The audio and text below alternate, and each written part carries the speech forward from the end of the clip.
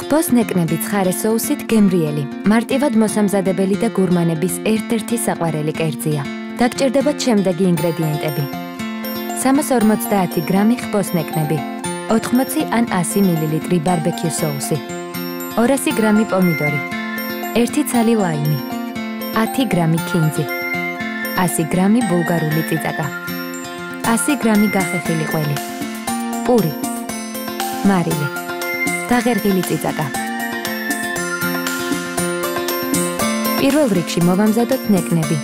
დავუშვათ ბარბეკიუ соуსი და შევწვათ გრილზე ან ტაფაზე. სანამ ნეკნები იწვება, პარალელურად მოვამზადოთ პომიდორის ცხარე соуსი. ამისათვის წვრილად დავჭრათ პომიდორი. შევურიოთ ასევე წვრილად დაჭრილი ბულგარული წიწაკა.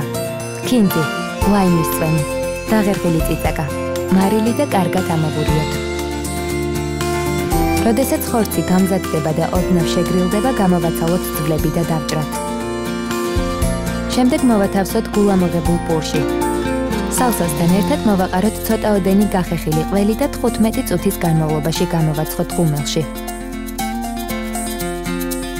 ხბოს ნეკნები ცხარე სოუსით მზად არის.